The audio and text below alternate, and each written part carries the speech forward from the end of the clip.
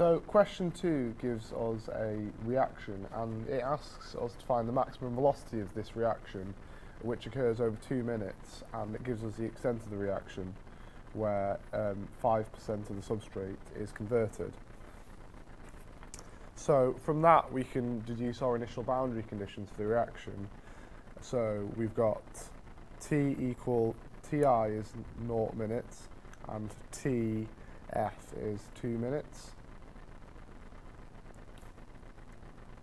And then we have our relationship for our final and initial substrate concentration. So CSF, our final substrate concentration, is equal to 0.95 times the initial substrate concentration, CSI, because 5% um, of the substrate is converted. So we go to our rate equation, uh, minus RS, and we know that it's related to a differential of concentration over time where we have dc of our, our change in our substrate concentration by dt time and we also know that our rate of reaction rs is equal to Vmax times substrate concentration over Michaelis-Menten constant Km plus substrate concentration Cs. So we can rearrange this and we can integrate it in terms of concentration and in terms of time. So if we rearrange this now, so we bring this side up onto this side and we integrate Vmax by T, we get Km plus initial substrate concentration or substrate concentration over substrate concentration by dcs is equal to the integral of V max by dt. And then we can put our limits into this. So Tf and Ti for time and for concentration CSF and CSI for concentration. So we can simplify this first to make the integration easier.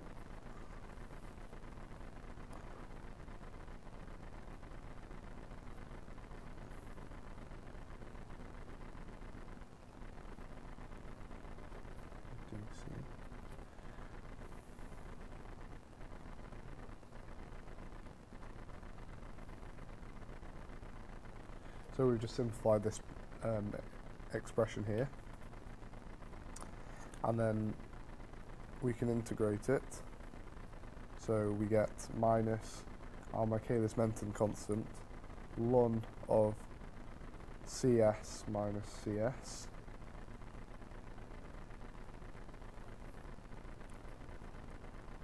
For our right hand side and that's still with our limits. Final concentration and initial concentration is equal to our maximum volumetric rate of reaction, and then our time component.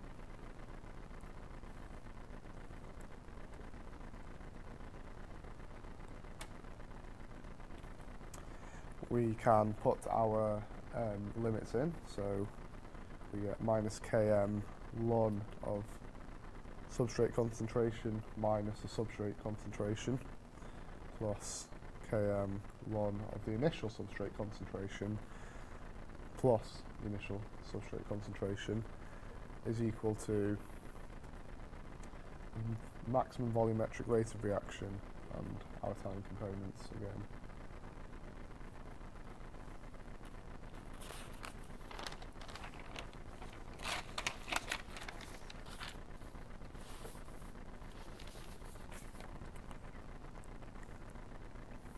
Rearranging this, because we're after our maximum volumetric rate of reaction, we get the expression for Vmax.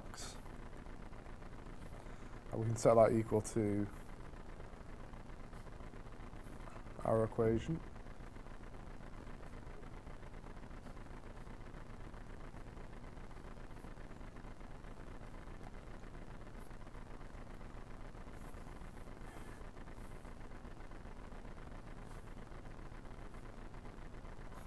Simplifying this, we get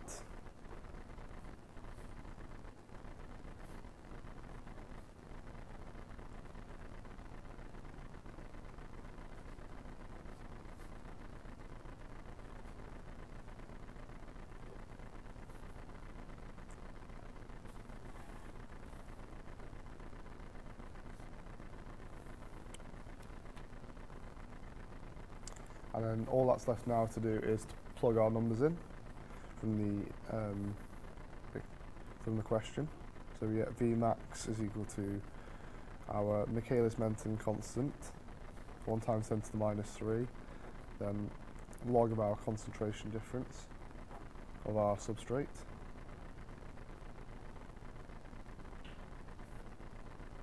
times 10 to the minus 5, plus 3 times 10 to the minus 5 minus 0.95 times 3 times 10 to the minus 5 and then we divide this whole expression by 2 minus 0 for our time and we get our Vmax to be equal to 2.64 times 10 to the minus 5 molar per minute.